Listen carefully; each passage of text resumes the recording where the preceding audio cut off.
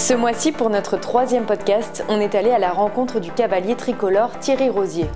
En seulement 4 ans, il a réuni sur Instagram plus de 50 000 abonnés. On voulait savoir comment il adaptait le travail de ses chevaux chaque hiver, lui qui partage plus que n'importe quel autre cavalier son quotidien entre compétition et entraînement à la maison. Allez, c'est parti pour notre troisième épisode. Salut à tous, on se retrouve pour le premier podcast de l'année 2021. On est au mois de janvier, en plein hiver, et on va justement s'intéresser au travail de nos chevaux dans cette période qui est un peu compliquée. C'est vrai qu'en ce moment il fait froid, euh, on peut pas forcément monter tout le temps en extérieur, euh, la nuit tombe tôt, il n'y a pas de concours. Bref, on se pose alors la question comment garder la motivation au quotidien? Est-ce qu'il faut alléger le travail de son cheval, ou modifier son alimentation? Est-ce que c'est pas le moment aussi d'essayer des nouvelles choses? Euh, Comment préparer la reprise pour lui comme pour nous euh, C'est autant de questions que nous allons tenter de répondre avec notre invité du jour, Thierry Rosier, désormais ex-membre de l'équipe de France de saut d'obstacle.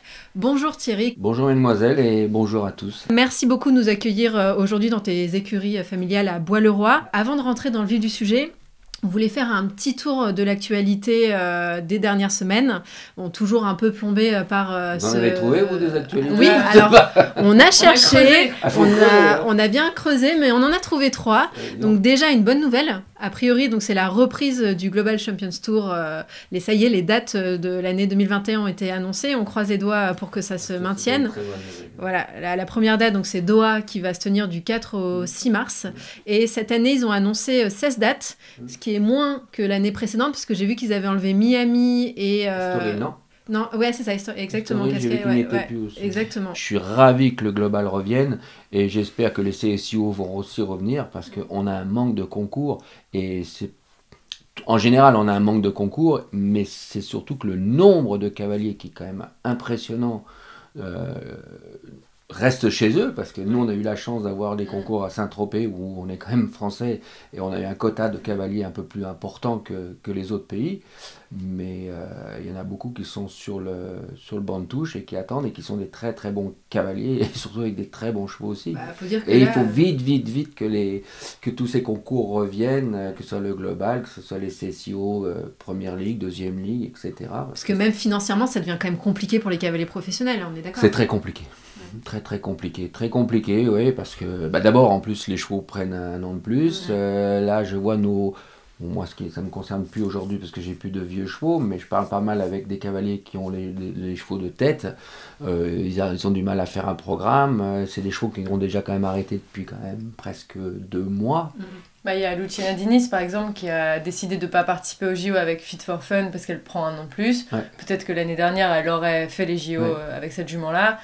Donc, euh, ouais, en plus, alors ça c'est peut-être quelque chose qu'on parlera un peu plus tard, mais je trouve que on dit les chevaux d'âge, il faut les économiser. Ok, oui, ça c'est sûr qu'il faut les économiser mentalement, mais c'est des chevaux qui ont besoin de beaucoup d'entretien. Et ça j'ai appris en, allant dans les chevaux de course. Euh, euh, tous les chevaux qu'on avait un peu d'âge, c'est ceux qu'on travaille presque un peu plus parce qu'ils ont besoin de, de, de garder leurs muscles actifs, travailler leurs abdominaux, leurs réflexes, sans, vous verrez, c'est un peu mon système que je fais, je fais beaucoup de cavaletti justement pour garder tout le temps, tout le temps cette, cette, euh, cette envie, cette notion de concours qui, en plus ces bons chevaux qui ont de l'âge aiment ça, aiment sauter, aiment travailler.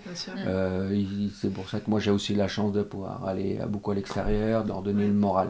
C'est que ça. Donc je comprends. Moi c'est ce que je pense que quand j'ai décidé d'arrêter Venezia à trois mois, euh, la mettre à la retraite, j'ai bien réfléchi de, dire bon peut-être l'échéance l'année prochaine qui peuvent être grandes. Est-ce que ça est-ce que je vais pouvoir la maintenir dans son on est vraiment dans l'incertitude l'incertitude je voulais pas là là c'était une période où il aurait fallu que je la travaille dur mmh, mmh, mmh. Euh, physiquement dans le dans le fond et tout et pour peut-être arrêter elle a déjà eu cette cette cette problématique l'année dernière en début d'année quand on préparait les jeux de Tokyo, euh, on était en train de vraiment, je travaillais énormément le fond. C'était vraiment là, j'étais dans la période avant d'aller à Oliva où travailler le fond. Je voulais vraiment qu'elle soit dure physiquement, prête pour euh, toutes les grandes échéances. Et euh, de l'arrêter, de repartir, c'était très compliqué. Oui, bien sûr. Et d'ailleurs, là, il y a Oliva qui, qui reprend en Europe, Wellington aux États-Unis. Mm. Donc, on commence un peu à, à voir. Mm les concours reprendre. Mais c'est quand même pour une partie très infime des cavaliers. bien sûr, pour une partie très très infime, très confidentielle. Ah bah, je sais que pour euh, aller, par exemple, moi je vais tous les ans, ça va donc la septième année où je vais tous les à, Oliva, au mois de février. Euh, je m'y prends un an à l'avance pour réserver mes box et faire mes demandes. Euh, ceux qui s'y prennent là depuis un mois, deux mois, c'est mort. Non, ils ne peuvent pas rentrer. Mm. Parce que c'est aujourd'hui les seules échéances où on peut aller à l'extérieur avec la température c'est quand même adapté, l'Espagne est très très bien pour ça, euh, puisqu'il n'y a pas de indoor non plus. Euh, c'est très compliqué d'y aller. Moi, j'ai encore, j'ai encore mes points ranking, donc je suis encore prioritaire mm. par rapport à d'autres cavaliers, euh, mais c'est compliqué. Donc, hâte, hâte que les concours reviennent. Bon, on continue avec une date, celle du 18 mars. C'est celle qui a été choisie pour la tenue des prochaines élections au sein de la Fédération française d'équitation. Pour l'instant, il n'y a que deux candidats connus, euh, Anne de Sainte-Marie, qui est notamment ancienne directrice du Rat de la Sens, et Jacob Legros, président du comité régional Occitanie. La FFE, euh, qui est dirigée actuellement par Serge Lecomte, n'a pas annoncé son ou sa candidate. Pour rappel, ce ne sont pas les licenciés qui votent euh, comme euh, aux élections présidentielles en France. C'est plutôt un système comme aux États-Unis où ce sont les clubs et centres équestres qui sont appelés à voter pour des listes. Le souci, c'est qu'il y a souvent beaucoup d'abstention, comme en 2016, il y avait eu 53% d'abstention. Donc euh, voilà, c'est la minute euh, politique. Alors je suis désolé, je suis pas très politique, je suis vraiment un cavalier, je suis un sportif avant tout, un homme près des chevaux, alors pas du tout politique, du tout, du tout, du tout, du tout, donc euh, je peux... Voilà, je ne suis pas du tout la fédération. C'est juste pour dire qu'en tout cas, il y a des élections qui existent mm. apparemment pour élire le président de la FFE. Je pense que le grand public ne connaît pas trop, trop encore. C'est très confidentiel, je pense, c'est ce genre d'élection. C'est toujours intéressant de s'y intéresser. Euh, de toute manière, il y aura un nouveau où on gardera l'ancien on fera avec. C'est ça. je me suis habité, vous savez, bon, j'ai quand même un âge assez avancé, j'ai 56 ans. Des présidents de fédération, j'en ai vu beaucoup. Mm. Euh, des entraîneurs, j'en ai vu beaucoup. Des DTN, j'en ai vu beaucoup. Des cavaliers, j'en ai vu beaucoup. Des chevaux, beaucoup. Mais c'est un éternel recommencement. et puis on s'adapte. Si j'ai des bons chevaux de Thierry Rosier, peut-être qu'il remontera là-haut. Mm. Euh, tout dépend de ce que je vais monter. Après, la fédération, peut-être euh, que je suis pas quelqu'un qu'ils aiment beaucoup, mm. mais si j'ai un bon chat, ils sont peut-être contents de m'appeler. on fait avec. J'ai été du côté, voilà, je connais tout. Mon père était entraîneur pendant très longtemps. Je connais aussi, j'étais proche d'un entraîneur national. Je sais ce qui, voilà, j'ai. Je ferai avec, vous inquiétez pas. En tout cas, on verra le 18 mars. Donc le 18 mars, je ferai un peu attention, j'étais pas au courant, mais donc le 18 mars. Et la troisième info, c'est donc euh, les Jeux Olympiques qui apparemment pourraient se tenir sans public. En fait, la, le, Comité international olympique se donne jusqu'à mai pour prendre une décision. Euh, ça serait quand même triste, hein, des Olympiques sans, triste, inédit. Alors, bon, pareil, maintenant je suis plus du côté euh, du sportif pour aller éventuellement à Tokyo. Ça n'aura pas la même saveur. Mm. Par contre, on entendra parler parce que ça aura été les Jeux Olympiques de, du Covid. Du COVID C'est pas, ce sera pas on les meilleurs, se souviendra peut-être plus du champion olympique du Covid que peut-être un autre. Euh, je sais pas. Mais je serai derrière mon poste quand même, mais c'est vrai que bon, je suis quand même très sportif dans l'âme et j'adore tous les sports. Mais ça, je te dit pas d'y aller à pied? Je suis derrière. Non, non, Tokyo, ah non. ça va être compliqué. Euh, non, puis en plus, ça sera, tout sera très, très fermé. donc, voilà. Mais je suis euh, quelqu'un qui adore le sport de tout, voilà, tous les sports de, de haut niveau c'est triste. Je, je, suis le foot. Quand tu vois un foot, ah tu entends les gens, les joueurs crier. Euh, les, les tu vois la Formule 1, les faux bruits d'ambiance, la Formule 1. Bon, ça, c'est des vrais moteurs, donc ça, c'est pas grave. Mais, ouais, il manque quelque chose. Hein. Mm. Ouais. Il manque quelque bah, chose. Les gens. Complètement. Bah, on s'aperçoit que, que les gens sont très importants, que le public est très important, qu'ils t'aiment ou qu'ils t'aiment pas, mais il faut qu'ils soient là. Quoi. Je veux dire, j'ai été sifflé, on a été applaudi, on a été adulé, on a été voilà, on peut pas plaire à tout le monde, on peut plaire à énormément de gens, et ben tu fais avec, mais ça nous manque. Puis quand on pense aux JO, on pense aussi aux images euh, du Club France euh, quand les Français avaient eu les médailles. Donc c'est des gens dans les stades, mais c'est aussi des gens dans la rue. Puis au paddock, t'allais croiser les gens qui prennent des photos avec vous, qui vous serrent la main, qui ont envie de parler, euh, des autographes. Ah on aime cette petite côté de reconnaissance. Hein. Moi, je suis pas, voilà, je vais le dire. Hein. Je suis content de faire ce que je fais. Je suis content d'être reconnu. Il y a, on a cette petite part de, voilà, si on le fait pour soi-même, ok, peut-être. Mais moi, j'aime aussi avoir cette petite reconnaissance et, mm-hmm. ça me fait plaisir d'être, euh, d'avoir autant de gens qui me suivent et, ça me motive. Et ces gens-là me manquent, ça c'est vrai. Bon, on va quand même rappeler rapidement qui tu es, Thierry Rosier, euh, parce que tu as un peu eu mille vies. Donc, déjà... Non, non, je suis chat noir. Je, je donc, de... Bon, t'es un rosier, donc tu montes à cheval, même si t'as commencé très tard. Je connais un rosier qui monte pas à cheval. C'est vrai. Donc, euh, c'est le troisième. t'as travaillé dans les courses, t'as monté en course.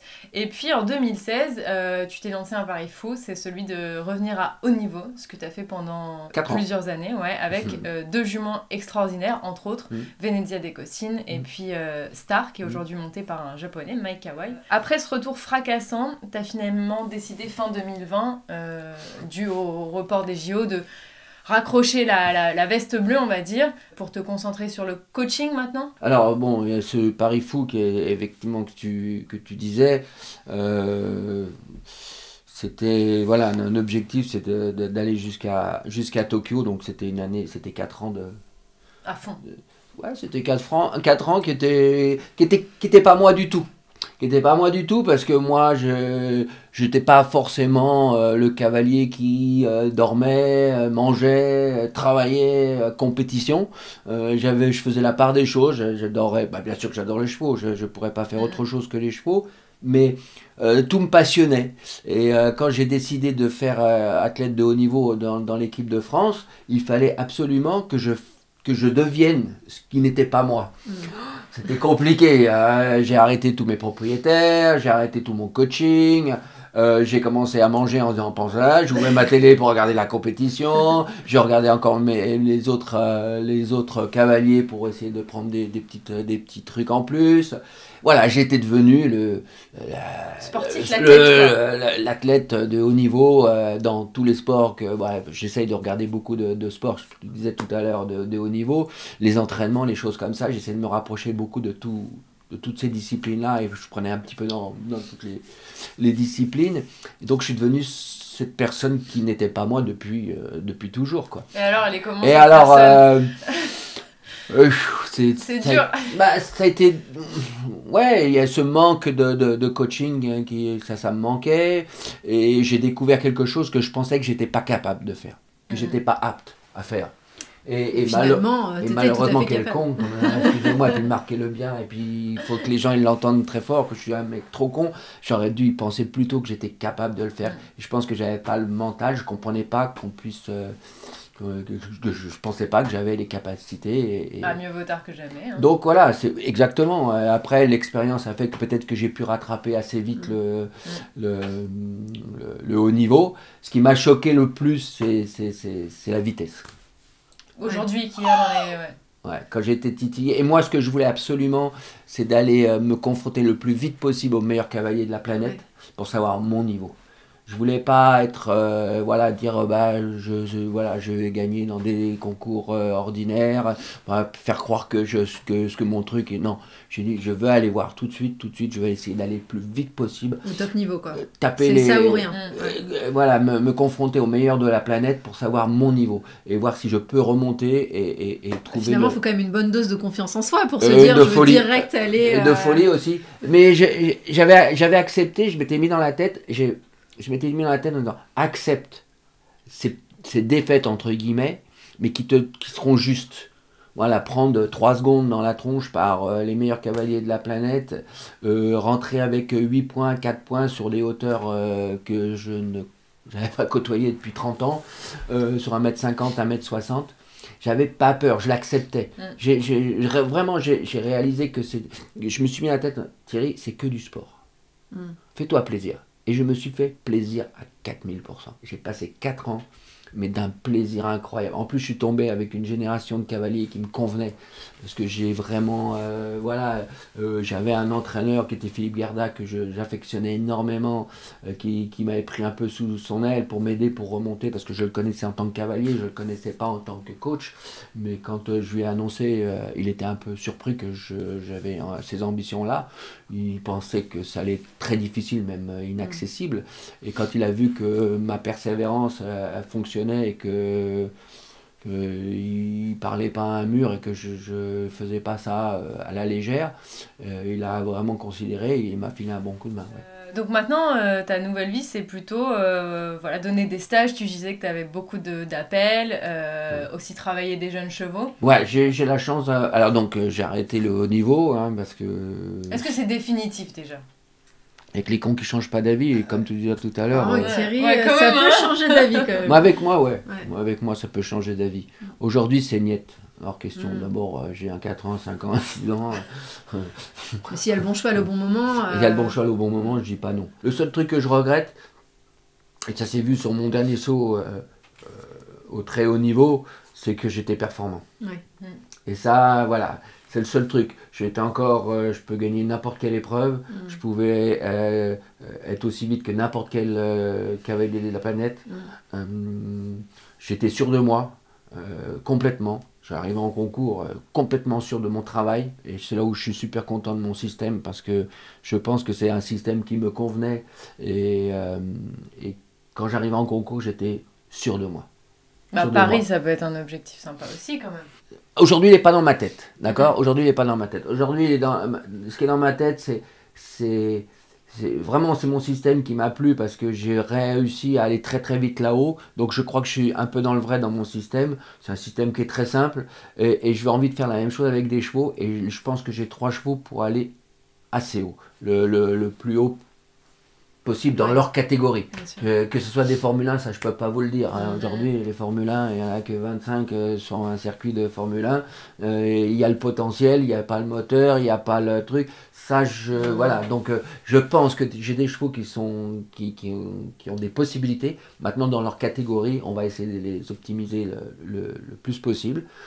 Donc, on verra. Bon, en tout cas, on va parler, euh, nous, de l'hiver et de cette période qu'elle est pour euh, tous les cavaliers. C'est une période où il y a moins de compétition, encore plus cette Ouais, année, c'est- évidemment. C'est Euh, pas un hiver qu'on a passé, ça dure 6 mois. c'est une hibernation. C'est ça. Alors forcément, euh, la routine avec les chevaux, elle, elle change un petit peu. Oui. Est-ce que le... toi, par exemple, tu travailles différemment l'hiver que l'été? Ah ouais, complètement. Alors qu'est-ce qui change dans les Complètement. Bah déjà, bon, bah là, ce qui me concerne, c'est des jeunes chevaux. Donc déjà, première chose pour moi, c'est comme avec mes vieux chevaux, c'est je, je suis pas un cavalier qui va monter un cheval et aller en compétition huit jours après. C'est pas mon truc du tout, du tout. Mm. Moi, il faut qu'ils intègrent mon système. Faut que- c'est- mon système, déjà à la base, c'est d'être très proche de mes chevaux. Mm. Donc ça, il faut qu'ils apprennent à être très proches de moi. Moi, j'apprends à être très proche d'eux. Hein. Je sais pas si on peut dire que je suis un homme de cheval, mais je suis- me, me rapproche quand même pas mal. Quoi. Euh, J'aime les monter le plus possible. Quand je suis là, j'essaie vraiment de les monter tous les jours, que ce soit en forêt. J'aime bien les tourner à la longe, j'aime bien les travailler sur le plat, j'aime bien les faire sautiller, j'aime bien les faire sauter. Voilà, j'aime que ce soit moi qui le. qui le- Voilà, je veux absolument Pas délégué. non, j'aime pas ça. C'est pas mon truc du tout. Euh, même quand je pars des fois 2-3 jours en stage, j'ai toujours très inquiet. Toujours très très peur de ce qui va se passer, euh, que personne monte avec son portable, son machin. Donc j'aime bien me familiariser avec mes chevaux. Donc là, c'est vraiment une période où euh, je veux que chaque cheval comprenne qui je suis et moi que je comprenne leurs qualités et leurs défauts. Mon travail que je fais tous les hivers comme ça. hein. Moi, aujourd'hui, je pense qu'il faut tout le monde doit travailler en disant on a un programme, on a, on a des concours qui vont commencer février-mars. Donc il faut rester motivé, il faut être prêt. Et voilà. Donc là, en, en ce moment, je, ce que je travaille beaucoup, je fais beaucoup de forêt, beaucoup de travail sur le plat. D'essayer de voir si tout fonctionne, si ça accélère bien, si ça freine bien, si Donc ça c'est des tourne trucs bien. simples quand C'est même. des trucs simples. Alors, Les bases, on va dire. alors, je donne beaucoup, beaucoup de stages et beaucoup, beaucoup de cours, et ce que j'essaie de dire aux gens, restez le plus simple possible. Les Mhm. choses simples, pour moi, sont les plus dures à faire, mais sont les plus efficaces. Mais c'est très dur. La simplicité est très, très, très, très, très dure. Ouais. Très dur. Donc euh, voilà, donc après je mets, euh, ce que vous voyez sur les, les réseaux sociaux, je mets beaucoup de, de, de petits schémas de- de- d'enchaînement pour voir euh, si tout fonctionne. Parce que je pense que la base avant de faire du saut, que ce soit du 1m10, 1m20 et 1m60, il faut déjà savoir contrôler complètement son cheval et savoir faire exactement ce qu'on peut le maximum sur des barres par terre ou sur des petits enchaînements qui font 40 cm. Ouais. Donc déjà pour moi c'est la priorité et c'est la base. En tant que cavalier amateur, l'hiver c'est quand même hyper dur parce qu'on n'a jamais vraiment Ouais. trop d'idées de ce qu'on a envie de faire, ce Ouais. qu'on doit faire. Exactement. Donc en fait, il faudrait vraiment qu'on revoie nos bases pour voir si tout fonctionne bien avec notre cheval. Ouais. Et nous, en tant que cavalier, est-ce qu'on monte bien entre guillemets? Pour toi, c'est quoi les bases d'un bon cavalier en fait? Sur quoi on doit travailler? Déjà, les bases d'un bon cavalier, je pense que c'est déjà pas s'emmerder. Aujourd'hui, ce qui me passionne, c'est pas de sauter haut, c'est de travailler justement mes chevaux tous les jours, pratiquement toujours, ou en forêt, ou, ou sur le plat, ou dans le manège. Faire des choses que je sens que ça va faire progresser mon cheval, notre confiance entre nous, et d'optimiser nos, nos performances. C'est ça qui me passionne aujourd'hui. Tu me mets un parcours aujourd'hui d'un mètre 45, 50 dans la piste, à la maison, ça va pas me passionner. Moi, c'est ce que je fais tous les jours, ça s'appelle des gammes. Mm. Mm. Dans chaque sport, que ce soit ou, ou- ou d'autres, on a la musique. Les gens, moi j'ai eu la chance de faire travailler des grands chanteurs ou, ou des grands musiciens, ils appellent les gammes, ils font leurs gammes Mm. pour pouvoir être performants le jour de leur concert, le jour de leur prestation.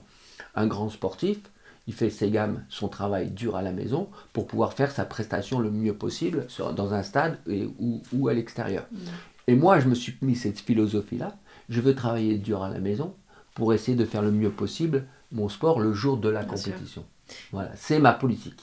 Et concrètement, pour les cavaliers amateurs qui nous écoutent, euh, c'est quoi le type d'exercice qu'ils peuvent faire pour revoir leur gamme comme Alors, tu dis?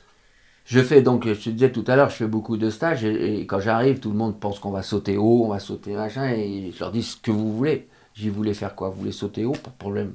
Enfin, sauter des barres, il n'y a pas de problème. Moi, je, voilà, vous me payez, vous, vous voulez sauter haut, sauter haut. Mais je pense pas que ce soit le but.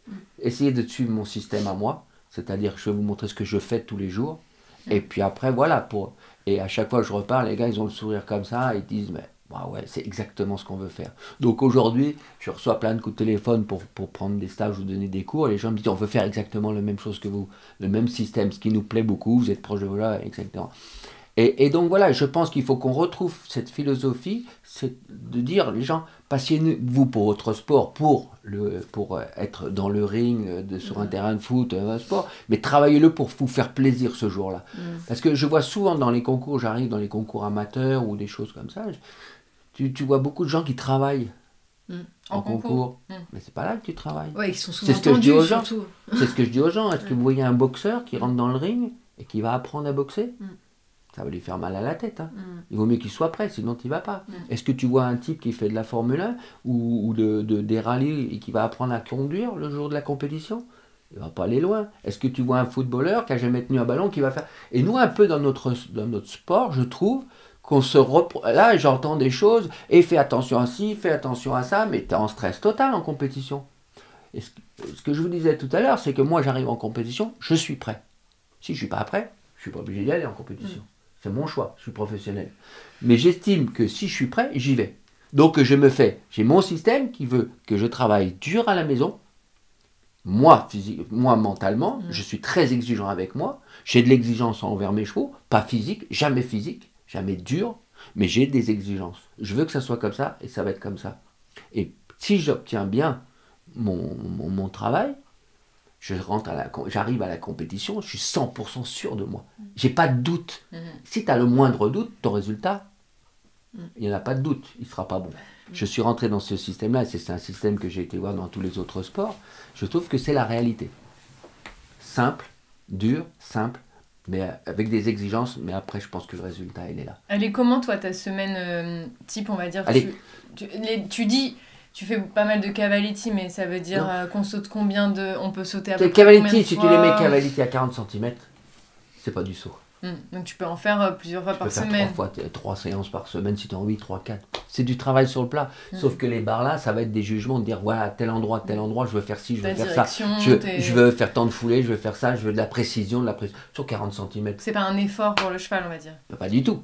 Pas du tout, du tout, du tout. C'est plus de la mécanisation. C'est pas du saut, ouais, c'est de la mécanisation. C'est un travail que tu peux faire 3-4 fois par semaine, 40 cm. Si c'est bien fait, moi je préfère, j'aime pas rester deux heures sur un cheval. Donc euh, je, je peux monter mes chevaux trois quarts d'heure, une heure, mais je vais travailler, je vais faire un travail d'une demi-heure maximum. Mhm. Mais rester pour les blaser, rester deux heures, en disant, Ah, je suis resté deux heures, j'ai travaillé. Mais t'as foutu quoi? T'as rien foutu, deux heures, c'est pas possible. Laisse tomber. Alors après, je vais faire un, un- un travail de fond en forêt, oui, où là, je vais rester peut-être une heure et demie à cheval, faire un trotting du pas, machin, faire des grimpettes, des choses comme ça. Et puis là, ce matin, par exemple, j'ai été faire un galop avec mes, mes chevaux, ça a duré quoi Un quart d'heure, 20 minutes. On a fait un bon galop de 5 minutes, 5-7 minutes, bon galop, euh, voilà, pour garder le, pour le, le cardio. Mais varier tout le temps, Ouais, varier, varier, varier. Beaucoup de gens, on tourne, on tourne, on, on s'en- on s'emmerde. Et Moi, je ne veux pas m'emmerder. Et dans ce cas-là, ça vaut pas le coup euh, de faire un planning un peu en amont Ah, de bah, sa semaine pour se dire là je fais un trotting, là je fais un cours de Ah, plat, moi, là je fais obstacle. Ouais, c'est Tout ça. est calculé. Mais un amateur aussi peut mettre ça Mais en place. bien sûr. Ouais. Ah, Ça motive quand même, je trouve, à fond d'avoir son, génial. son Moi, je trouve- planning en amont, de savoir ce qu'on va faire. euh, Alors avec un plan A et un travail. plan B, Le plan A, c'est le meilleur plan. Mm. Tu veux aller à Tokyo, tu veux aller à... T'as, t'as, t'as prévu... Bon, nous, on n'a pas ça dans notre Non, planning. non, non, non, mais, euh, non, mais par exemple, tu peux très bien aller faire un championnat de France amateur à Fontainebleau, enfin je sais pas où Mm. c'est, mais, et, et tu, mais tu fais ton planning à l'envers, à, à marche arrière, et un plan B, pourquoi? Parce que son planning, le rêve A, qui t'emmenait jusqu'à cette échéance-là, il n'y avait rien qui se passait, tout était nickel, euh, ton cheval n'a jamais rien eu, toi tu étais en pleine forme, ça c'est formidable le plan A. C'est celui que tout le monde rêve. Mm. Mais tu vas souvent sur le plan B. T'as t'as mal à la cheville, t'as mal au dos, ton cheval il s'est foutu un petit star, euh, euh, il saute moins bien à cette période-là, euh, euh, donc t'as un plan B. Mm, Bah, au moins t'en as un. bien sûr. Donc ça, ça a toujours, moi avec mes vieux chevaux, on a toujours fait ça. Plan A, pop, pop, en plan B, on revient sur le plan A. Ben, c'est facile, mais ça faut que ça soit, voilà, c'est bien, ju- c'est- si tu fais ton truc avant et que tu sois amateur, professionnel, nous en tout cas au, au très haut niveau, je pense que beaucoup, beaucoup, beaucoup savent gérer exactement leur planning. Bah, moi, je suis très admirative d'Alice qui, a, qui me Ah, moi, montre je fais toujours mon son petit planning Excel. Mais t'as raison. vraiment, Mais c'est euh, jouissif, moi j'adore ça. Ben ça, voilà, me- mais- ça me motive. Mais tu as complètement raison, moi j'adore ça aussi. Je suis toi là, tout mon planning il est fait, je vais faire là, de débuter ici. Alors après, moi c'est des jeunes chevaux, donc euh, je je pars dans l'inconnu. Mais moi je, je considère que c'est que du sport, je me prendrai pas le chou. Ouais. Si ça n'a pas fonctionné comme je voulais dès le départ, on prendra le temps. Et ça je fonctionne Et comme ça, ça. c'est aussi important de le rappeler aux amateurs aussi qui parfois, je trouve, se prennent euh, Un peu trop grave sérieux. la tête Ouais. euh, sur. Alors qu'il faut rappeler que C'est que que du plaisir. Et si même toi, en tant que professionnel, tu te dis ça, Ouais, mais alors clair. les Mais moi, vous amateurs, pouvez dire arrêtez que quoi. vous voulez. N'importe qui peut me dire, je me suis régalé. Aujourd'hui, ça s'est arrêté. Demain, ça recommence. C'est que du plaisir. Personne, et ça, j'ai eu la chance d'avoir des propriétaires. J'ai la chance d'avoir des propriétaires incroyables, formidables, qui m'ont donné carte blanche. Mhm. C'est-à-dire que j'avais 100% Pas de pression. pas de pression. Je partais, moi, des fois, ma propriétaire, j'étais un Grand Prix national. J'avais pas, je me souviens, à Jardy. Je l'ai pas mis au barrage. Le terrain me convenait pas. Bah, bah, bah, bah, bah. J'y appelle, je suis pas parti au barrage. Oh, bah, c'est toi qui décides. hein. Mais t'inquiète pas, je suis pas parti, c'est qu'il y a une raison. On va garder, ça sert à rien. Bah, bah, bah. Et aujourd'hui, bah, les résultats, ils font que. Le, qui connaît mieux le cheval Que son- que son cavalier? Qui les connaît? En plus, moi, j'ai du métier. Donc, je sais. On est un peu en dedans, nous on n'est pas très bien en forme, ça sert à rien de forcer, on va un peu plus. Voilà. Après, euh, donc c'était. Donc avec mes jeunes chevaux, et, et ce que tu disais, c'est que pour que les gens se prennent la tête. Ouais, Moi, ouais. quand je vais faire des stages et que j'arrive, je discute avec eux, mais je leur dis, mais des fois, 4 points, mettez-vous pas à pleurer, Ouais. ou votre carrière n'est pas foutue. ça. Moi, ça m'est arrivé et, et de faire 5 fautes dans un parcours et sortir, chercher pas les 5 fautes, que le côté positif. Et ça, j'avais appris, c'est quelqu'un qui m'avait dit, c'était Yann Tops qui me, avec qui j'ai- pas mal de, de- de bonnes relations et qui m'ont toujours aidé. C'est des gens qui m'ont aidé pour arriver à ce- où je suis arrivé. Il me dit toujours, pense à ce que tu vas faire, pense pas à ce que tu as de faire. Mhm. Et souvent, les gens, les amateurs, ils ont fait 4 points. Ils pensent qu'à ils pensent qu'à l'ob- l'obstacle qui viennent de mal sauter. Et ils perdent le fil. Ils Mm. savent plus où ils sont. Mm. Ils savent plus où ils sont. Ils savent plus, c'est perdu d'un seul coup. Oublie. T'as mal fait ton saut. Ok, ça va changer quoi. Faut retrouver cette notion de plaisir. Ça va fait. changer quoi. Ouais, Non mais, mais même si tu y penses, Ouais, euh, la barre elle est tombée. passé, ouais. La distance elle était pas bonne. Elle va pas revenir Bon. J'avoue, on s'est tous déjà retournés pour voir si on avait fait la Oui, barre. mais, mais ça arrive, ça arrive. Mais moi aussi, de temps en temps, ça arrive. ben, je, suis en- je suis à fond. Je me dis, je regarde un petit coup pour savoir si elle est tombée ou pas. Pour savoir si je vais être tranquille ou si je continue à aller pour bourrer. Quoi. Donc euh, voilà, aussi, c'est intelligemment euh, pensé. Mais euh, c'est que du positif. Le nombre de gens qui ont cette pensée négative est incroyable. Tu peux te mettre un peu de pression. Et il en faut de la pression. Tu, tu peux Sans arriver, être voilà, négatif. sans Bah, être si, du, c'est du genre euh, mon foutisme, non. Voilà. Donc la pression, elle est importante. Ouais, bien sûr. Il y a, il y a le stress positif, le stress négatif, il y a la, voilà, euh, la Même pression parfois un peu positive de et peur, un peu de... Mais on a besoin. Ouais. Quand tu arrives à la boule, euh, tu rentres à la Coupe des Nations, euh, tu rentres dans le machin. Moi, j'avais jamais fait une Coupe des Nations en France euh, de 5 étoiles, euh, que tu as le public de la boule qui gueule ton nom, euh, qui crie, qui crie, qui crie. C'est sûr que tu fais un peu dans ton pantalon, hein, mais c'est bon, c'est bien, c'est bon signe. C'est bon signe, c'est que tu t'intéresses au truc. Après, une fois que la cloche elle est partie, tu n'entends plus personne. Si tu les entends une fois que tu as passé le dernier, et là tu es content, tu, voilà, tu jubiles ou pas. Mais, euh, dans ta tête, tu sais que si. bon, déjà dans ta tête, tu sais que ça va se passer à 100% sûr bien, Mm. mais il y a cette petite part de dire si ça foire, c'est que du sport. D'ailleurs, pour ces amateurs qui ont envie de faire leur gamme, toi sur Instagram, tu partages pas mal d'exercices. euh, Et d'ailleurs, il y a un vrai engouement qui s'est mis autour de ça parce que Bah, tu as 50 000 abonnés quand même. ouais. Tu fais partie des influenceurs, on va dire, équestres En euh, peu du de temps surtout. Non, mais c'est quand même euh, ouais. super intéressant parce que tu partages euh, ton expérience et aussi des exercices. Mais euh, pourquoi je cacherais quelque chose? Non, bien sûr, mais tout le je monde suis n'a pas tellement content que mon truc Ouais. il plaise. Ouais. Euh, là, j'en ai refait un tout à l'heure que je vais repasser parce que, bah, vu le nombre de gens qui me demandent, vu le nombre de vues déjà qu'il y a sur les, les vidéos, euh, que ce soit des, même des professionnels jusqu'à T'as l'amateur. vu, il parle en nombre de vues, c'est un influenceur Ouais. maintenant. Ouais, ouais, je vois, là, j'ai vu le nombre de vues. Euh, bon, bah, tu te dis que c'est intéressant que les gens sont demandeurs. Ouais. Bah, je suis ravi. Hmm. Je suis ravi que ça soit ça. Et là, je peux toucher l'amateur avec son poney et je peux toucher le professionnel. Mais voilà, j'aime faire ça, j'aime euh, j'aime ce- ça. Et donc, que ça plaise, je suis ravi, ravi. Et si je peux aider, c'est gratos. Et merci euh, tous les réseaux sociaux parce que c'est gratuit. Et je ne demande rien du tout. hein. Il y a plein de gens, ouais, tu devrais te faire payer. Mais non, ça sert à rien, c'est pas mon truc. J'ai envie de faire plaisir aux gens, j'ai envie que les gens ils s'amusent, euh, qu'il n'y ait pas d'accident. euh, et voilà. Et, et donc, je reçois encore des vidéos des gens qui essayent, alors, plus ou moins bien, parce que c'est normal. hein. Bien Euh, sûr, ce que je fais là, j'ai quand même de l'expérience. Ouais. Même pour moi, c'est dur, mais je, je- je répète et à, et à un moment, ça fonctionne. Et puis, et puis vraiment. Bah alors il y a une autre facette de l'hiver euh, qu'on voulait aborder, c'est euh, l'alimentation pour les chevaux. Mm. Euh, forcément ils vont moins en compétition, ils vont moins au pré, donc ils peuvent faire moins d'exercice. Et en parallèle, quand il fait froid, ils utilisent peut-être un peu plus d'énergie. Donc on a demandé à une spécialiste, Sandrine Lambet, de la marque éponyme, euh, qui est ingénieure nutritionniste pour les chevaux, si euh, il fallait changer quelque chose l'hiver. En hiver, le cheval peut effectivement avoir une activité physique réduite et donc des besoins nutritionnels plus faibles. Mais en parallèle, lorsque les températures sont inférieures à 10 degrés, le cheval va dépenser de l'énergie pour maintenir sa température corporelle. Donc finalement, le meilleur moyen de voir si la ration est adaptée ou doit être ajustée est de contrôler régulièrement l'état corporel de votre cheval. Pour ça, il y a une petite astuce qu'on peut proposer. Vous pouvez utiliser un mètre ruban ou tout simplement une petite cordelette que vous marquez au feutre pour mesurer le pourtour thoracique de votre cheval. Alors là, si votre cheval perd de l'état, alors oui, il sera important d'augmenter sa ration ou de complémenter pour l'aider à se maintenir en état. Mais il est important de garder en tête que le cheval, est extrêmement sensible à tout changement alimentaire. Donc il est important de ne pas engendrer de gros euh, bouleversements alimentaires, mais ne faire que des ajustements à la hausse ou à la baisse de votre ration. Et pour finir, euh, je pense qu'il est vraiment important de veiller à maintenir de l'eau propre et tempérée à disposition du cheval, de faire attention au gel par exemple, de bien maintenir à disposition une pierre à sel et surtout euh, également d'apporter une quantité suffisante de fourrage, soit euh, un peu plus de 7 kg de foin par jour pour un cheval de 500 kg.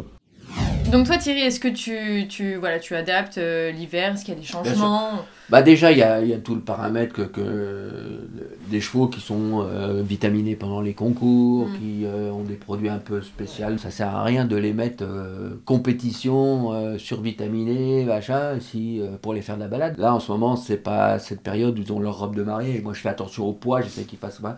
Bon, j'ai la chance d'avoir euh, pour les peser, une machine pour peser mes chevaux.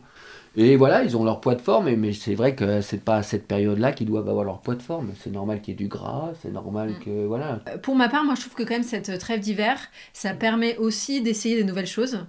Euh, en particulier tout ce qui est travail à pied qui se développe de plus en plus euh, maintenant dans notre discipline. Toi tu t'y connais un peu hein, en éthologie ou Non. pas trop trop? Je suis peut-être un peu éthologue, un peu, à mon avis, dans ma tête. Tu, tu, tu Je parle murmures à beaucoup. l'oreille des chevaux. Ouais, beaucoup.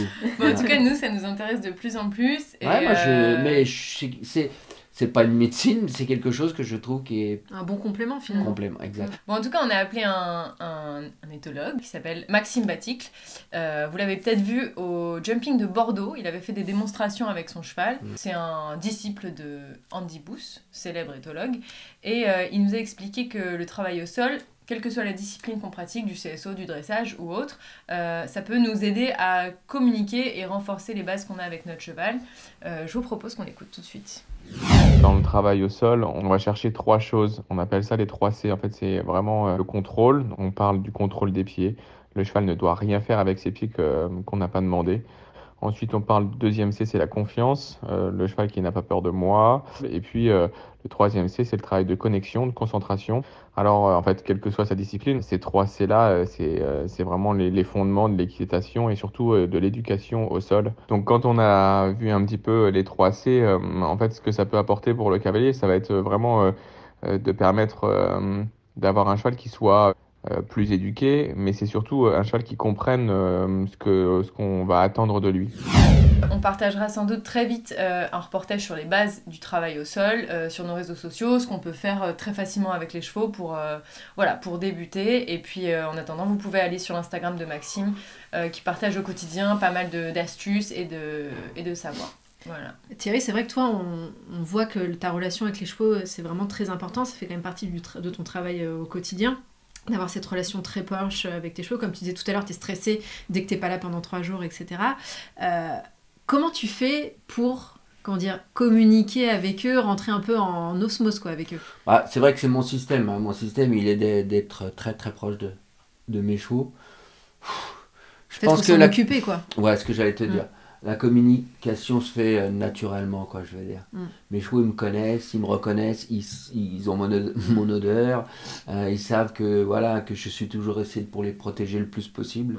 Et c'est vrai que quand tu as cette complicité avec tes chevaux, je vois en concours, je suis comme tout le monde, je fais des erreurs de distance, je fais des erreurs d'appréciation euh, de galop par moment, et ils sont toujours là pour m'aider. Le moindre truc, si j'ai eu un problème, une situation qui n'était pas celle qui étaient demandés pendant mon parcours, je sais que j'ai toujours leur soutien.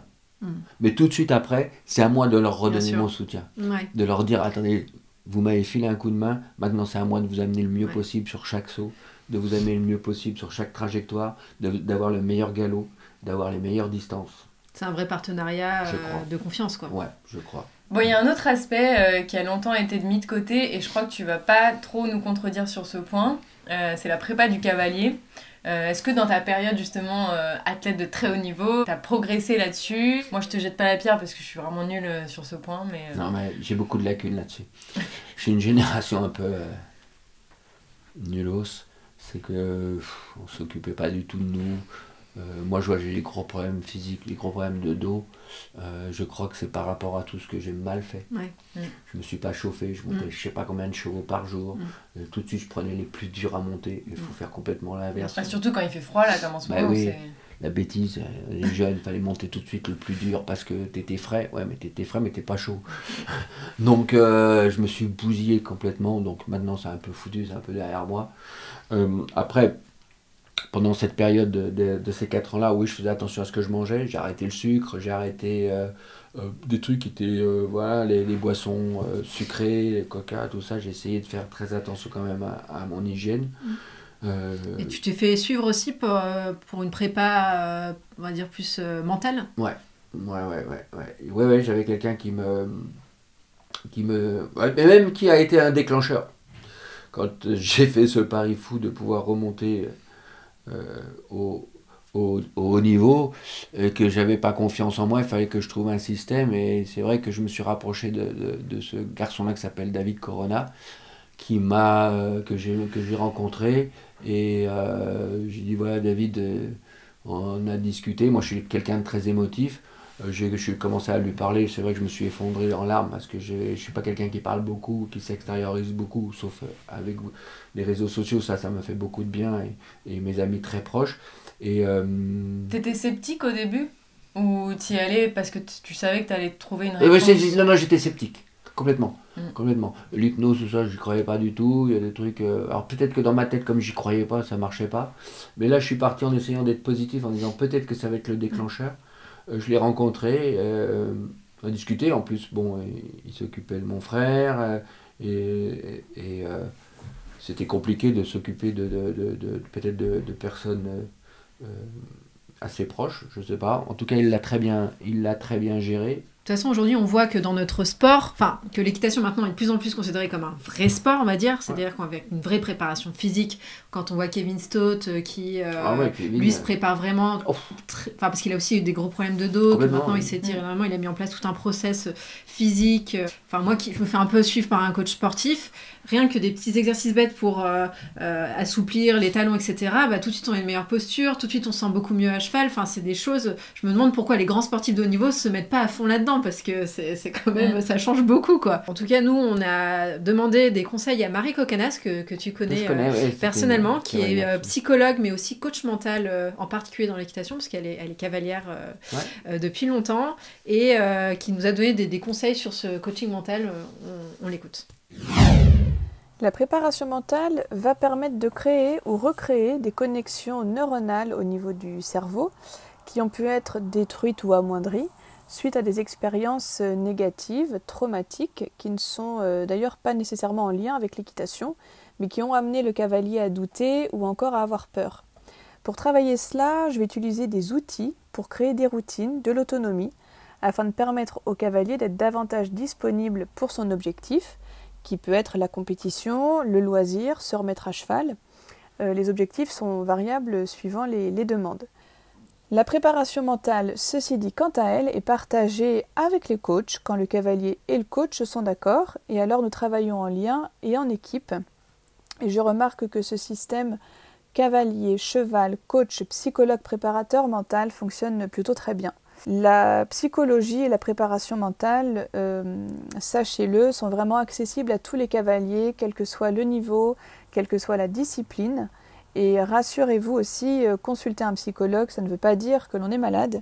Euh, bien au contraire, même, euh, nous avons tous un fonctionnement psychique. Et le but, eh bien, dans ce cas, est de faire de votre tête votre allié.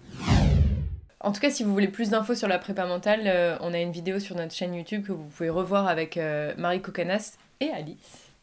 Et nous, on vous a fait une petite sélection de produits euh, en lien avec la thématique, c'est-à-dire euh, comment prendre soin de son cheval euh, l'hiver. Moi, je vous ai sélectionné un planeur de la marque The Horse Riders. En fait, c'est un peu comme si ton cheval tenait son agenda, mais c'est toi qui le tiens pour lui. Et ça peut permettre, comme on l'a dit, de faire un planning des séances, noter le vétérinaire, le maréchal, vaccins. les vaccins, les objectifs. Même il y a un planning de concours maintenant. Exactement, donc qu'on fasse du, du concours ou pas, qu'on fasse du dressage, du complet, etc., ça peut, euh, ça peut servir euh, à tout le monde. Ouais, en plus c'est super joli, donc euh, ça. ça. Non, mais ça, je trouve que c'est une très bonne idée, en plus pour des gens amateurs et tout ça. Ouais. Les idées pour aider les gens, pour aller dans le confort et pour faire son. Moi, je trouve que c'est toujours partant. Ouais, c'est sûr. Moi, j'ai un autre, euh, une autre sélection de produits. C'est un livre qui s'appelle La préparation mentale du cavalier de compétition par euh, Philippe Leclerc et Béatrice Fletcher aux éditions euh, Belin. C'est pas un livre qui est très très récent, mais qui moi m'a beaucoup aidé pour avancer euh, là-dessus. Et donc, bah, je conseille ça comme, euh, comme lecture. En ce moment, ça peut faire progresser ceux qui ont besoin d'un peu de préparation mentale. Et puis, euh, Thierry, on termine toujours euh, notre podcast par un petit questionnaire euh, rapide. Tu choisis Soit ou soit. soit ou soit. Tu vas voir. Soit ou soit. Ouais. Voilà. Coaching ou cavalier? Bah, j'aime les deux, donc. euh, Ah non, Ah non, non, non, c'est pas ah, le jeu, c'est pas le jeu, c'est coaching. Bah, coaching alors. Ok. Concours ou balade? Concours quand même. Alexis de Roubaix ou Nicolas Delmotte? Oh. Alexis Delmotte. Allez. Jument ou hongre? Bah, j'ai beaucoup de juments. Ouais, les juments. CSO ou course? Ah. CSO. Soirée ou reco à 7h du matin? Reco à 7h du matin. Venezia ou Palma? Non, c'est compliqué votre truc. Vous êtes chieux. La Baule ou Paris? La boule. Oh putain. Paris, non, non. Ah, la boule, quand j'ai même, gardé bon c'était souvenir, beau. mais j'adore Paris. Euh, bah, le, le salon du cheval. Ouais, Ouais, non, je suis fan de Paris. euh, fan de Paris. Paris, allez. Et une musique pour se motiver? À la Marseillaise. Toi, t'écoutes la Marseillaise avant de rentrer en Pourquoi pas. piste. Bah, Ah, tu ouais, sais, quand moi, tu as la chance de l'avoir, de l'avoir euh, fait euh, ou, ou chanter ou, ou- ou pour toi, entendu ou pour, toi. ouais. Je te dis qu'elle a une saveur euh, tellement incroyable et, Mm. et ça me, tu vois rien d'y penser. Tu dis Marseillaise, ça te remémorise des endroits incroyables comme Aix-la-Chapelle, comme, pff, comme Paris, comme La Baule, comme euh, bah, bah, bah, bah, plein de concours. Et ça, euh, euh, je- je comprends que des grands athlètes, je les vois chialer sur un podium ou quand ils entendent la Marseillaise. Moi, je le comprends. Ah, moi, quand je pense à chialer et hymne, je pense à Martine Fuchs, au champion d'Europe Ouais. à, ouais. à Rotterdam. Ça, c'était. Mais L'image, pas, pas pour la Marseillaise.